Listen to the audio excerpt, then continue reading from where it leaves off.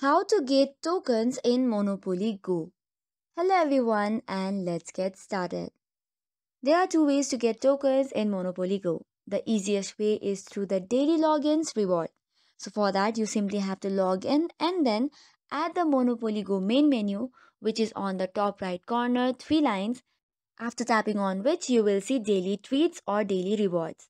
Tap on it and then you will get this page. The next way through which you can get the tokens in Monopoly Go is the album icon. That is right beside of the Go icon or on the right side. Tap on the album icon. Here you will see different rewards and you will be granted for completing an album. And out of which one will be the token.